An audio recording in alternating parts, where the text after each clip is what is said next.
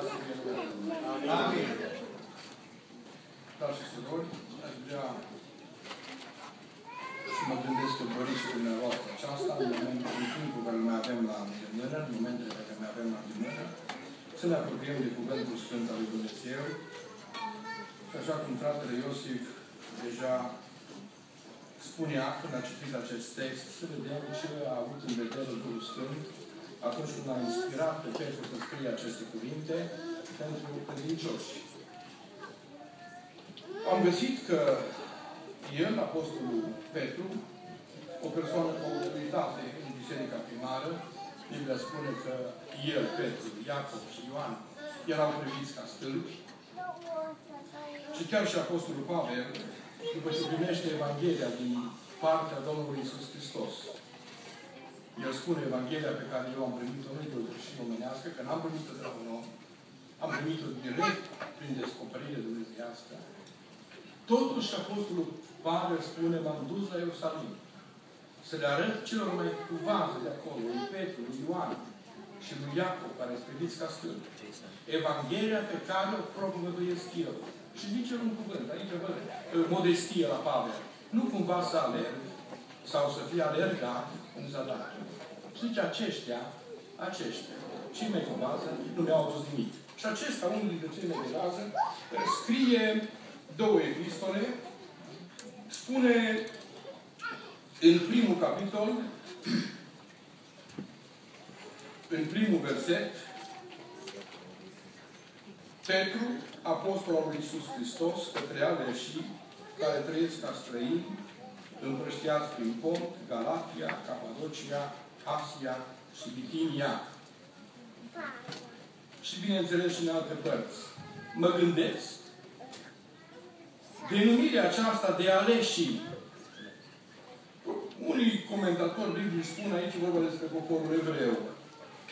Eu cred că e vorba despre cei despre care a spus Domnul Hristos sunt mulți chemați, dar puțini sunt aleși. Ce ziceți? Biserica din Montreal, comunitatea de aici, frații și surorile, sunt printre cei chemați? Sunt și chemați, bineînțeles, dar sunt și aleși? Să vedem în cuvintele care ne dăjduiesc că Duhul Sfânt mi le, mi le va pune în inimă și pe buze, ca să vedem, ne încadrăm la cei la care le scrie Petru, aleși care trăiesc ca străini. Noi trăim ca străini, suntem emigranți, unii copii de emigranți, țara noastră de o vârșie pământească e acolo în Europa, poate după 300 de ani vom fi și noi aclimatizați, adică urmașii noștri, deocamdată ăștia suntem, dar dacă ne dezbim într-o împărăție cerească și într-o altă țară, și dacă ne simțim aici pe pământ străini și călători ca Sfinții Părinți ai Bisericii, atunci o să ne luăm cuvintele acestea spuse de Petru către cei care erau aleși, dar trăiau ca niște străini împrăștiați. În a doua lui epistolă, el reia și spune în capitolul 1, cu versetul 1, Simon Petru, rog și apostol al lui Iisus Hristos către cei ce au căpătat o credință de același preț cu a noastră, prin dreptatea Dumnezeului și Mântuitorului nostru Iisus Hristos. Și în capitolul 3 zice, preiubiților, aceasta este a doua epistolă pe care vă scriu, în amândouă. Caut să vă trezesc mintea sănătoasă prin înștiințări. Aș vrea din toată inima cuvântul acesta pus astăzi înaintea noastră să ne trezească mintea.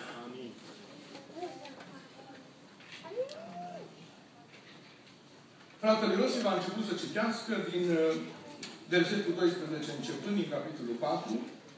Aici spune, preiubiților, nu vă mirați de încercarea de foc din mijlocul vostru, care a venit peste voi ca să vă încerce ca de ceva ciudat care a dat peste voi, din potrivă, bucurați-vă întrucât aveți parte de papile lui Hristos, ca să vă bucurați și să vă veseliți și la arătarea slavei Lui.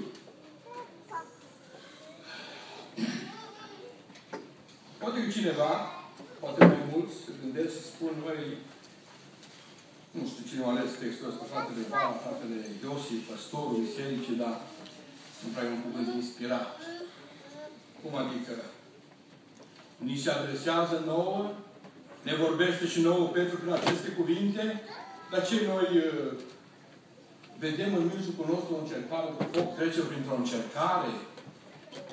Vorbește în textul acesta de prigoniri, de suferințe, de încercări. Și se potrivește nouă. Știți câteodată vi s-a întâmplat să primiți câte o scrisoare în poștă? Care nu vă era adresată. Avem câteodată sentimentul sau ne, ne ajută unii să înțelegem că unele din scrisorile scrise în cartea aceasta, în Cuvântul Lui Dumnezeu, nu ne sunt adresate. Eu aș vrea să vă spun, de la bun început, dacă este cineva aici care nu se simte între cei aleși de Harul Domnului, prin puterea Dumnezeului nostru, dacă este cineva care nu se identifică cu cei care au primit o credință atunci la început, și noi una de același preț cu a lor, n-am ce să-i spun din textul acesta. N-am ce să-i vorbesc. Dar dacă ne identificăm cu categoria aceasta de oameni aleși, nu numai chemați, ci și aleși, după voia lui Dumnezeu, și creștini în Biserica Domnului Isus Hristos, atunci e un semn de întrebare care se poate pune. De ce vorbește Biblia de încercare? Sau dacă vorbește la modul general, nu ni se potrivește, că noi nu trecem prin încercări. Vreau să vă spun că sunt câteva lucruri pe care am ținut să le spun în adunarea aceasta. Am fost programat cu acest text cu ceva vreme în urmă, într-o duminică dimineața. N-am putut veni de la Gatineau, eh, eram acolo de două zile, am oprit cu un frate să mă înlocuiască și m-a întrebat, vrei să-ți păstrezi textul? Zic, da, lasă-mi el. Vorbit în locul meu, fratele Iosif m-a reprogramat, a reprogramat și textul, am avut musafir, m-a întrebat sâmbătă seara, lăsă, lăsăm musafirii să predice că și eu, pe unde merg, am parte de același tratament. Este cineva care îmi dă și mie loc. Și am zis, cine știe, dacă mai fi ocazia să vorbesc din textul acesta. Un frate din biserică care trebuia să predice astăzi a zis, nu, nu vorbești pe locul meu. N-am avut curaj să refuz de tot. Dar am luat același text. Așa, în Duhul meu, simțeam că ceva trebuie spus din textul acesta. Și primul gând care l-am în minte este să ne facem o verificare, o cercetare. Oare suntem și noi printre cei aleși să potrivesc cuvintele acestea? Și dacă cumva nu ni se potrivesc, atunci să vedem cum am putea să ne încadrăm acolo. Biserica Domnului trebuie neapărat ca să fie Biserica Domnului să treacă prin încercări. Am găsit în Biblie câteva feluri de încercări. Este încercarea aceea de la urmă. În ziua aceea mare, când Dumnezeu prin foc va încerca toate, toată lucrarea pe care au făcut-o credincioși în momentul acesta. Așa ne spune Apostolul Pavel în Corinteni și putem citi doar două versete. El spune, Pavel, eu ca un meșter și dar înțelept am pus temeria, fiecare să ia seama ce cădește deasupra. Temeria fiind Domnul Iisus Hristos, bineînțeles. Și el spune, Pavel, iar dacă gândește cineva pe această temerie, aur, argint, pietre scumpe, lemn, cânt, trestie, lucrarea fiecăruia va fi dată pe față, ziua Domnului o va face cunoscut că se va descoperi în foc. Și focul va dovedi cum este lucrarea fiecăruia. Și nu o să vorbesc astăzi despre încercarea aceea. Aia rămâne pentru la urmă. Noi acum putem să facem slujbe în biserică, putem să predicăm, putem să întrebăm la evangelizări, predicatorii, aș zice eu, vedete, pun o întrebare. Dacă este cineva care se hotărăște pentru Dumnezeu și se vede un, o bădură de mâini ridicată. Îmi spunea un frate de-al meu în Timișoara, după Revoluție, s-a speriat câți oameni au ridicat mâna că se predau Domnului la predica unui american. Și a zis, mă duc mai devreme la Elim, dimineața de vreme, să prind un loc pe scaună, că o să fie plină biserica și eu nu mai am loc. Cât s-au predat ieri, pe stadion. Și când s-au dus, tot ei au fost. Dar predicatorii contabilizează. În ziua aceea mare, când va fi încercarea de la urmă, tot ce au lucrat și cred ei că au zidit, că au pus pe demeria, care este Domnul Hristos, va fi încercată prin foc. Și dacă nu rămâne, Biblia spune că își vor pierde răsplata. Nu despre asta vreau să vorbim. Mai este o încercare prin care ne este încercată credința. Și încercarea aceasta de multe ori vine din partea diavolului, nu din partea lui Dumnezeu. De exemplu, spune în Apocalipsa, la un moment dat, vorbind unei biserici, nu te teme nici de cum de ce ai să suferi. Iată că diavolul are să arunce în temniță pe unii din voi ca să vă încerce și veți avea un ecaz de 10 zile. Fii cios, până la moarte. Și îți voi da cu una. Ba încă, chiar și în Evanghelie, Domnul Hristos, în Evanghelia după Luca, scrie aceste lucruri, vorbind cu Petru. Îi spune, Simone, satana a cerut să vă cearnă. Să vă încerce. Există încercarea aceasta, încercarea credinței. Și despre asta putem vorbi. Și mai ales pentru că trăim astfel de vremuri, trăim astfel de vremuri, când uh, împotriva bisericii se dă o luptă furibundă. Sunt două instituții care sunt atacate în mod sălbatic. Sunt atacate în mod sălbatic. Cu o ură de moarte. Cu înverșunare.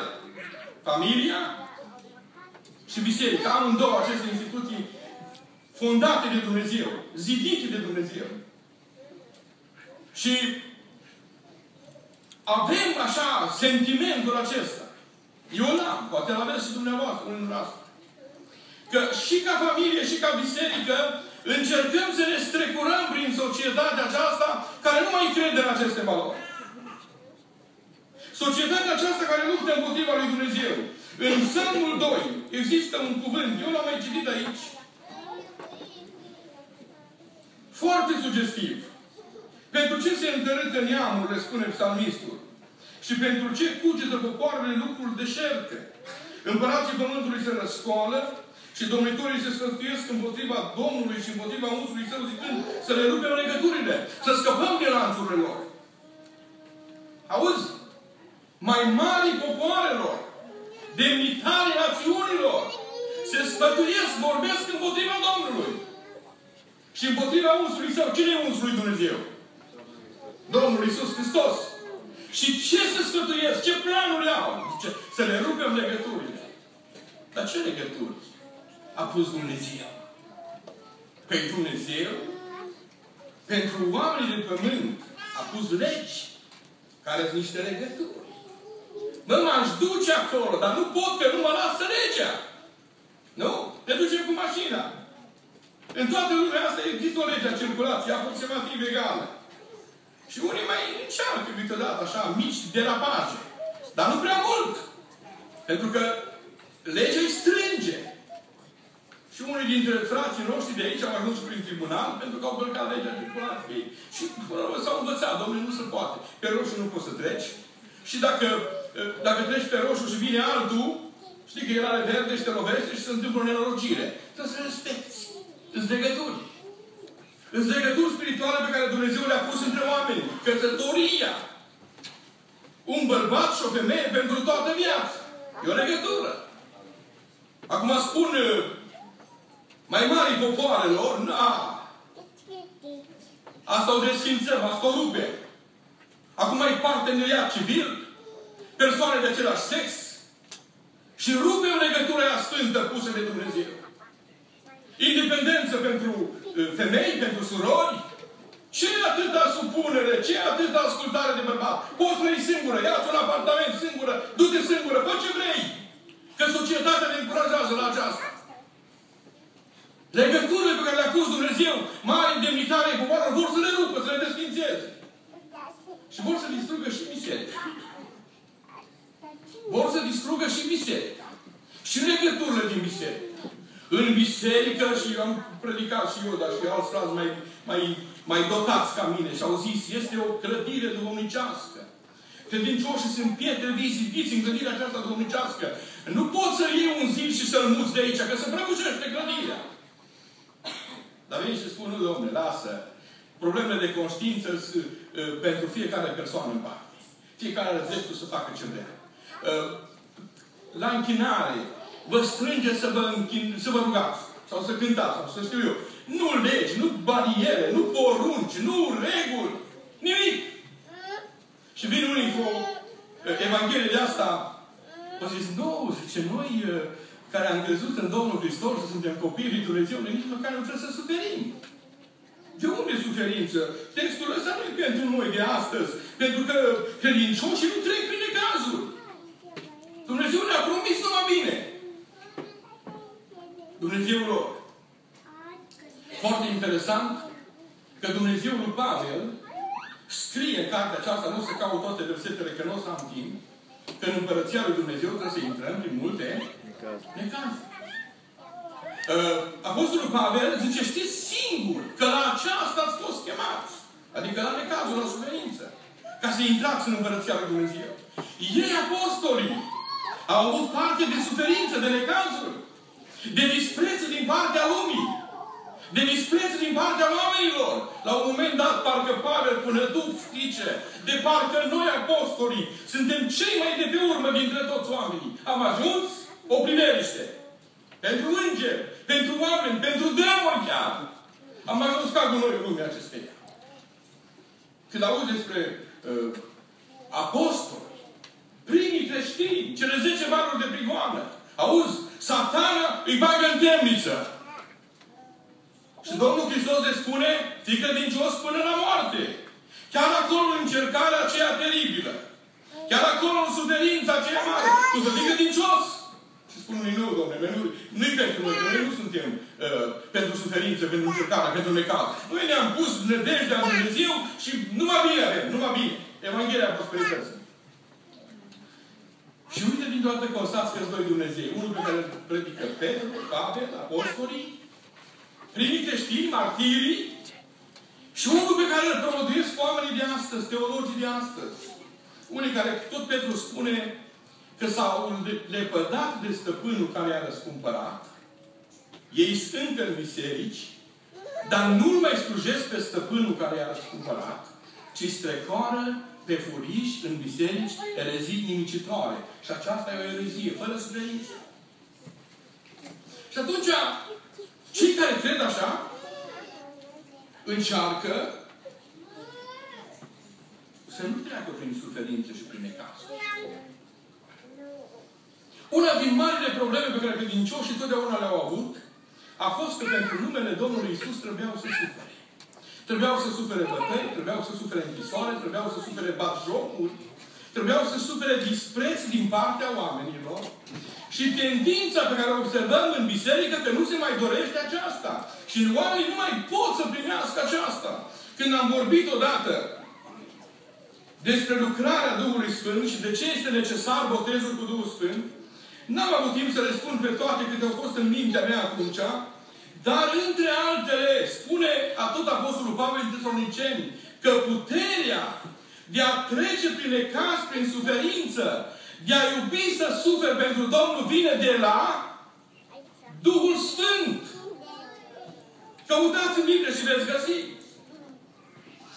Apostolii, înainte de botezul cu Duhul Sfânt, au fost în stare tot să fugă, să se repede de Domnul.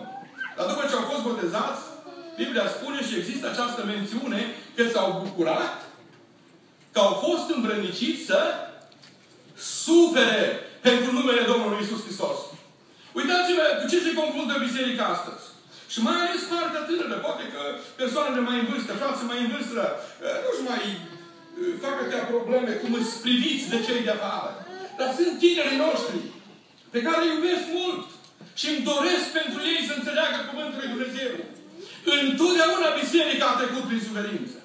A fost o vreme când, uh, înainte de regiunii comuniste în România, era biserica, biserica tradițională, respectate și erau câțiva credincioși. Cultele evanghelice, frații baptiști, pentecostali, creștini după Evanghelie. Arătați cu deget. Arătați cu deget. Vorbiți de rău. Numiți eretici rătăciți. Oameni care și-au ieșit din minți. Și pentru asta la școli erau balșocoriți, în satele unde trăiau erau balșocoriți. Au venit regimul comunist. Eu băgat pe toți ca în aceeași oamă. Și de atât au continuat să fie bazocoliți pocăiți. Și baptistii, și pentecostalii, și creștinii după Evanghelie, că ăștia îți iară tăciți ăia. Biserica aia care avea 80% din membri nu era uh, luat așa în colimator. Totdeauna au fost bazocoriți și se întâmplă că și în libertate, în lumea asta liberă, unde spunem că nimeni nu ne are treaba, există această tendință care a fost în toate vremurile să fie aruncată cu blama asupra bisericii, să fie vorbită biserica, să fie, uh, auziți, uh, au fost omorâți niște oameni de orientare, știți dumneavoastră, în Statele Unite. S-a dat vina pe creștini că ei spun trăsătura asta radicală, că spăria între un bărbat și o femeie. Creștinii influențează felul ăsta de gândire. Și președintele Obama, președintele Americii, încă în exercițiu, a rostit aceste cuvinte. Sunt scrise în multe ziare drepturile homosexualilor sunt mai importante decât religia creștină. Și atunci când auzi în societate așa ceva, tinerii noștri, pe care îi iubesc mult, zic, doamne, cum să mai mă identific eu cu creștinismul? Cum să arăt înaintea oamenilor că sunt creștini? Cum să... Știu eu, că toată lumea va da cu prieteni mici. Și merge la școală și face și tinerii de astăzi cum se făcea și pe vremea mea erau unii mai spirituali, mai crescuți duhovnicește și aveau curajul să stea în picioare înaintea profesorilor, înaintea colegilor, dar erau și câte unii de ei mai timorați, care ar vrut să se strecoare neobservați. Neobservați. Să nu știe nimeni că el vine dintr-o familie de pocăit. Ca să beneficieze și el. Mă rog, de ce beneficiau ceilalți? Cineva spunea că s-au făcut pionieri pe vremea aceea, lui nu i-au pus cravată că era dintr-o familie de pocăiți. Și știa învățătoarea. Și au mers acasă supărat. De ce trebuie eu să fiu pus la colț? De ce? Pentru că eu nu mă spus cel din urmă din clasă. Nu mă destul de mine. Păi pentru că noi iubim pe Domnul Isus. Nu, păi nu mai vreau să iubesc, că vreau și o cravată. Se întâmplă așa așa. Tinerii noștri, copiii noștri, văzând oprobiul societății, bat jocura societății, încearcă să se strecoare. Vreau să vă spun, în primul rând, dacă suntem creștini, vom accepta să apărem în fața lumii ca și creștini. Amin? Ascultați-mă bine. Vreau să fiu bine înțeles. Dacă suntem cu adevărat între cei aleși, va trebui să ne asumăm că înaintea oamenilor trebuie să apărăm ca și creștini. Și o zis Domnul Hristos, se va cunoaște aceasta. Creștinii vor fi cunoscuți, nu, vă, nu veți putea trăi în ascuns. Nu veți putea să fiți țigăunit așa. Nu veți putea să vă ascundeți, să nu vă știe nimeni că sunteți creștini. O zis și lumea întreagă va cunoaște că sunteți. Cine? Ucenicii mei. Dacă ce? Scrie în Cartea Faptele Apostolilor Un singur verset citesc. După ce ia ființa acea biserică din Antiohia,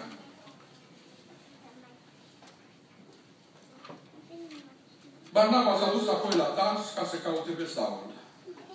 Și când l-a găsit, l-a adus la Antiohia. Un an întreg au luat parte la adunările bisericii. Și au învățat pe mulți oameni. Pentru întâiași dată, aici a dus ajung, ucenicilor li s-a dat numele de creștini. Sunt multe înțelesuri a acestui cuvânt, dar cel mai uh, cunoscut este că denumirea aceasta de creștin vine de la denumirea de Hristos. Unii spun chiar mici Hristos. Deci populația Antiohiei a observat acești oameni și observându-i le-a dat o denumire. Cum în uh, România, de exemplu, la țară și și în orașe, unde erau cunoscuți creștinii, li se spunea pocăiți pocăiți. Dar erau și așa fel comportamentul acestor oameni că erau imediat identificați că sunt pocăiți. Vreau să întreb Biserica creștină din Montreal Laval. Vă mai identifică, mă mai identifică, ne mai identifică oamenii pe stradă, în locurile de muncă, unde trăim, unde lucrăm, unde mereu să ne câștigăm pâinea, unde locuim.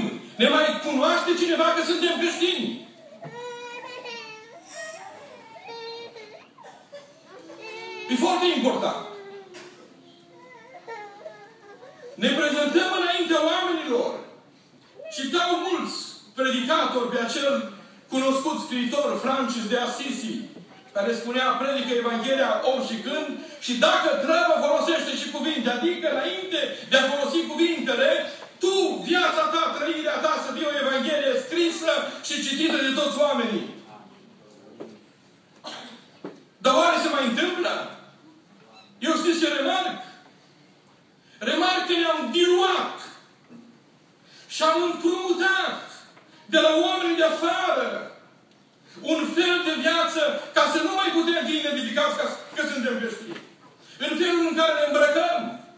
Aici spune Apostolul Petru, în capitolul 4, mai sus de unde s-a citit, despre creștinii aceștia aleși, de aceea se miră ei că nu alergați împreună cu ei la același potop de desfrâu și vă batjocoresc.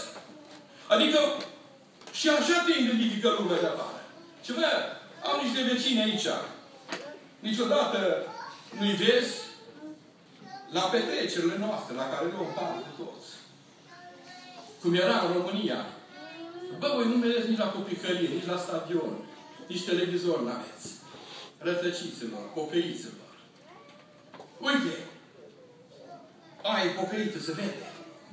M-am dus la Salonta, la o noapte de veche, pe atunci tinerii aveau preocupări, uh, unii dintre ei creștine și uh, mergeam așa prin țară cu un punct de tineri unde erau lucrări de genul ăsta, nopți de veche. Și ne-am dus la Salonta, la o noapte de veche. De acolo am mai însoțit cu câțiva tineri și am la Timișoara, la o altă noapte de veche. Și mergeam pe stradă, am ajuns târziu. Așa era cu trenul, cu autobuzul. Și zicem, nu, acum nu mai găsim adresa. Întuneric, n-ai cu cine întreba. Am văzut două surori pe stradă, două femei. Cum erau pocăite de atunci, legate la cap cu ceva bătăcuțuri, cu rochițe mai lunguțe, mai uh, decente.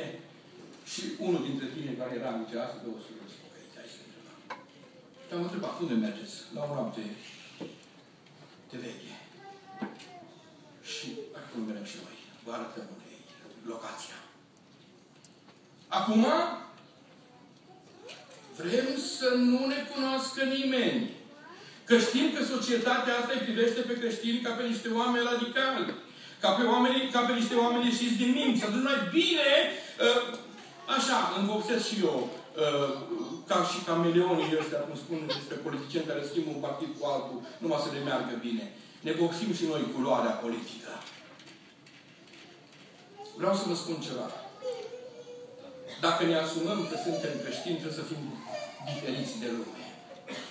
Și să ne asumăm că pentru aceasta trebuie să plătim un preț. Și știți care e prețul? În primul rând, batjocura și ura din partea lumii. Domnul Hristos spune lucrurile acestea foarte clar în mai multe locuri în Biblie. Eu o să citesc din Evanghelia după Ioan.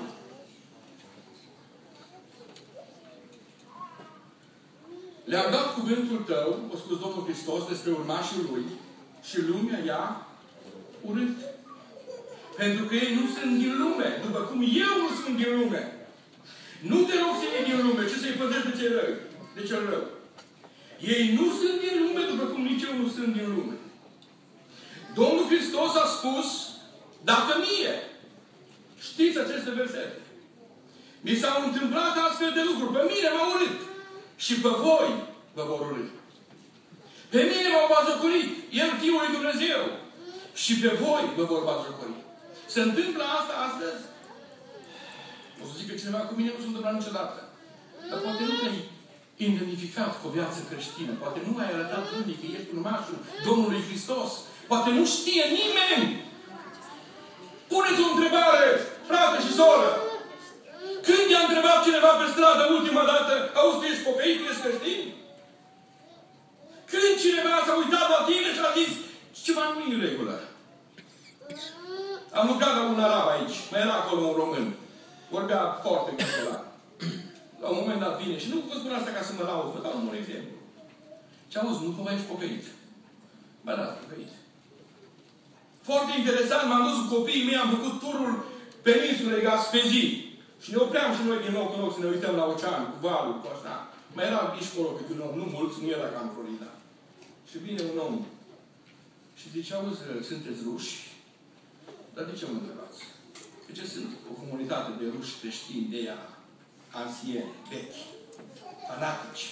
Să așa îmbrăcați ca voi.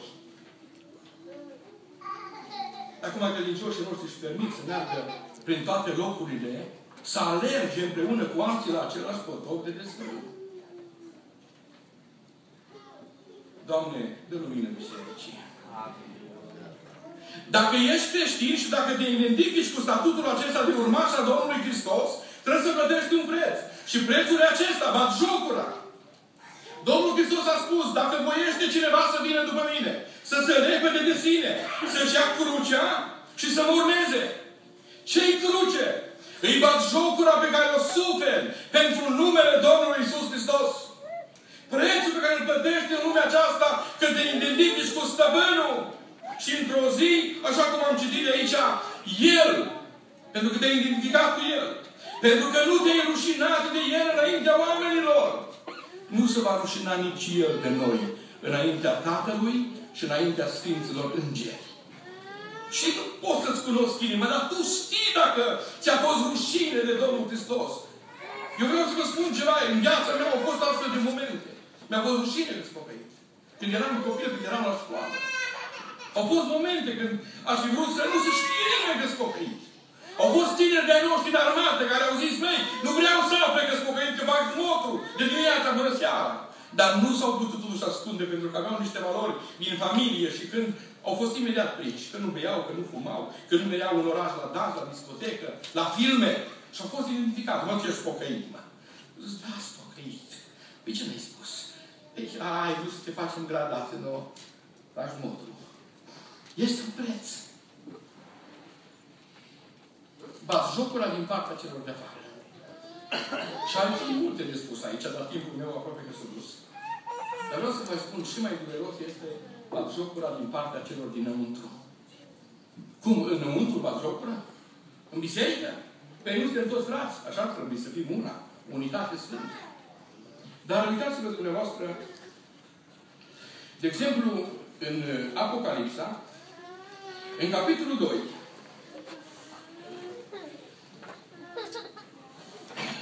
spune în versetul 9, aceleași biserici despre care am citit, Biserica din Smirna, știu necazul tău și sărăcia ta, dar ești bogat. Și bat jocurile din partea celor ce zic că sunt iudei și nu sunt. Adică oameni care ziceau că sunt iudei, că și ei copiii lui Dumnezeu, copiii lui Abraham, fiul lui Abraham, care l-au ca, ca tată pe Dumnezeu, dar nu erau. Nu credeți că sunt și în biserici astfel de oameni care zic că sunt creștini și nu sunt și îi jocoresc pe cei care chiar sunt creștini. Apostolul Pavel, atunci când uh, vorbește el despre felul lui de luptă, despre viața pe care o dus, despre slujba pe care o făcut-o, la un moment dat, în 2 Corinteni, capitolul 11, el spune aceste cuvinte.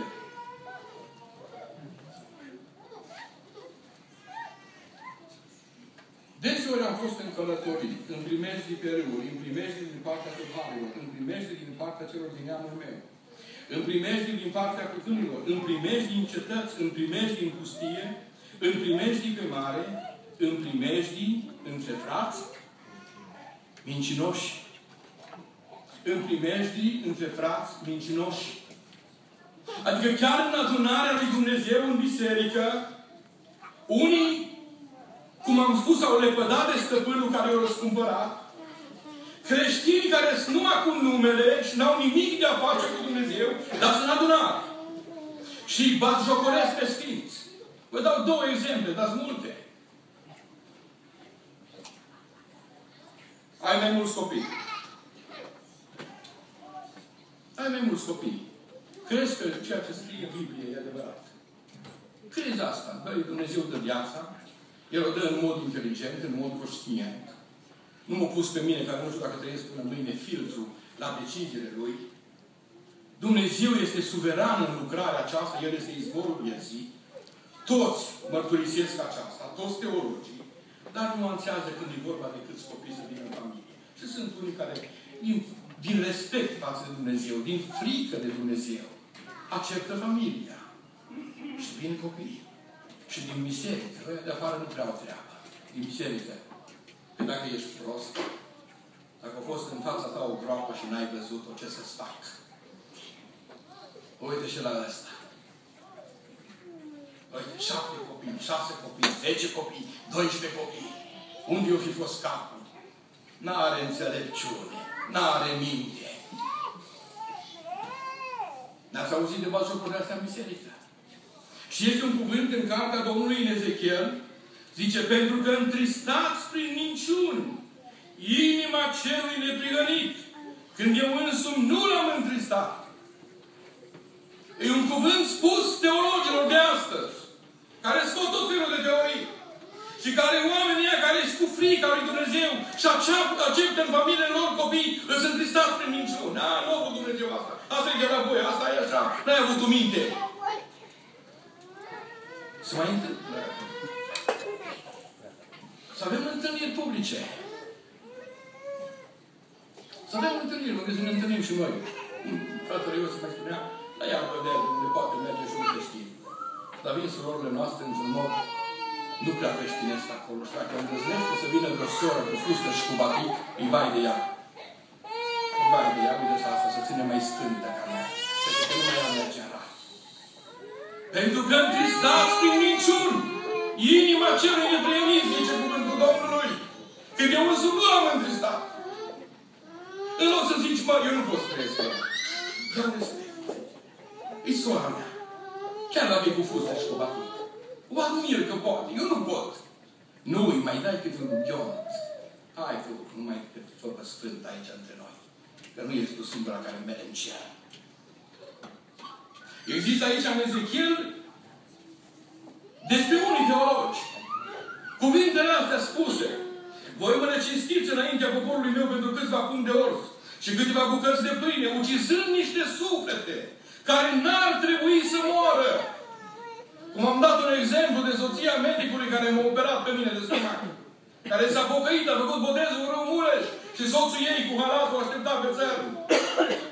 Singura din familia ei. Și a picat pe mâna unor pocăite de-a noastră, de astea mai moderne.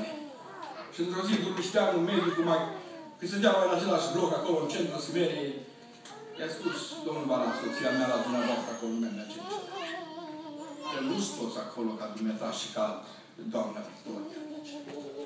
Soția mea e foarte am, au, au nimicit-o, zice femeile. De ce? Pentru că întristați prin minciuni inima celui neprihănit. Pentru că faceți să moară niște suflete care n-ar trebui să moară. Spunându-le minciuni. Și nu mai știu unde să creadă. Și să avea și alte exemple să vă dau. Am dat două simple. Dacă vă identificați cu exemplele acestea, haideți să, haideți să ne pocăim de ele și să ne punem în inima noastră gândul acesta și uh, dorința aceasta de a trăi în lumea aceasta ca și creștini. Și să ne bucurăm. Auzi? Cheia. Există un cuvânt în Biblie, zice, pe tine însuți încearcă-te dacă ești în credință. Și spune aici Apostolul Pavel, din potrivă, bucurați-vă pentru cât aveți parte de partele lui Hristos. Dacă ești în credință, dacă ești în credință, dacă sunt în credință, atunci când trec printr-o suferință pentru numele Domnului Isus, trebuie să mă bucur. Amin? Cam slab, amin. Dar scris în Biblie. Dacă mă vede lumea că-s creștin, trebuie să mă bucur. Dacă mă bajucurește, dacă mă disprețuiește, dacă îmi spune tot felul de vorbe, trebuie să mă bucur. Dacă, într-adevăr, sunt creștin, sunt copilul lui Dumnezeu. Dacă am parte de patimile Domnului Isus, că ne vom și bucura la arătarea slavei Lui.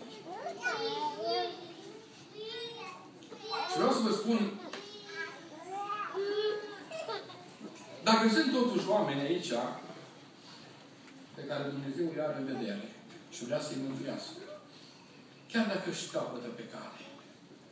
Dumnezeu, v-am spus într-o predică, cred că dacă nu chiar în două, are o metodă de a-i desăvârși pe Sfinți. Știți, știți care e metoda aceea? prin suferință. Cineva a remarcat în ultimul timp, au trecut din viață slujitori, destul de tineri, și cineva a remarcat, după spusele unui frate, el, înainte de a trece din viață, a zis, cine știe ce zgură a fost lipită de mine și Dumnezeu ca să mă poată duce în cer, a pus în cuptor să mă curățească. Nu-i mai bine să ne ajungi în cuptorul la lui Dumnezeu, nu a diavolului. Nu-i mai bine să trăiești pocăința ca să ne ajungi acolo în cuptor, pentru că Dumnezeu, ca să mântuie pe cineva, vreau să vă spun, cu suferința nu-ți plătești păcatele. Nu. E fals. Păcatele noastre le-a plătit Domnul Isus Hristos. Noi nu putem plăti niciun păcat. Dar Biblia spune că Dumnezeu se poartă cu noi ca și cu niște copii. Și ce suferință de viață. Judecata, spune aici Apostolul Petru, stă să înceapă de la casa lui Dumnezeu. Și cum judecă Dumnezeu? Cum judecă un tată, dădeam un exemplu, nu știu dacă s-a aici l-am dat, citind într-o carte despre unul, locuia undeva într-o comună de la marginea Bucureștilor, un om înstărit cu mulți bani, cu multă avere, cu case mari și faine și băiatul lui de vreo până în 14 ani scria cronicarul acolo, a luat pușca tatălui, a mers în șură, am pus-o așa aproape de fânul din șură și a tras. Nu se poate și el cum sună arma. Un copil. A proptit-o de ceva. Sigur că de la glonțul a luat șura foc. El n-a spus nimic la nimeni când a văzut că a luat foc. Oamenii când fac câte un păcat să ascund. Ca și copilul ăsta. Ca și Adam în Eden. N-a spus la nimeni. Au luat foc șura, au luat foc casă. Până s-au dezmedicit oamenii, era o mare de flăcări. Până la urmă s-a aflat de unde a pornit. Credeți că tata l-a omorât pe copil? Nu. Nici măcar nu l-a pus să plătească, că n-avea cum să plătească. Un copil până în 14 ani, nu acum avem casa înapoi sau nu. Dar te pedepsit ce zice s-a pedepsit? Te-a dat o lecție să fie de învățătură pe toată viața?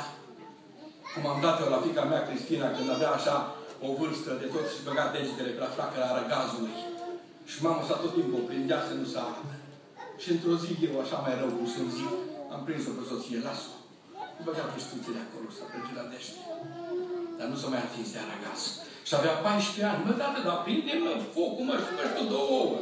Dar mi-e frică tată să la prind. 14 ani. De ce? I-am dat o lecție cândva. Ce să poartă Dumnezeu cu noi? Nu vrem să ne încadrăm. Bine, unii în spatele pădat, unii n-au nimic cu Dumnezeu. Dar unii pe care Dumnezeu totuși a găsit ceva în ei și vrea să-i mântuiască. Dacă nu de bună voie, înțeleg cuvântul lui Dumnezeu, îi mai pune și câte un, în câte un cuptor, îi mai pune în ciur, ca pe Iona. Și ajunge Iona acolo în adâncul mării și de acolo strigă, Doamne, mă pocăiesc, scoate-mă de aici. Mă pocăiesc. Lapă de orice, nu mă scoate-mă de aici. Există și o judecată în Biserica lui Dumnezeu. Pentru că Dumnezeu vrea cu orice preț să ne mântuiască. Doamne, ajută-ne să înțelegem. Iertați-mă că am depășit un pic timpul. Încă am mai avut ceva de spus, dar rădăjuiesc că dumneavoastră, pe baza acestui subiect, mergând acasă, mai puteți cerceta Scriptura. Și Domnul să ne ajute să facem tot ce scris pentru noi.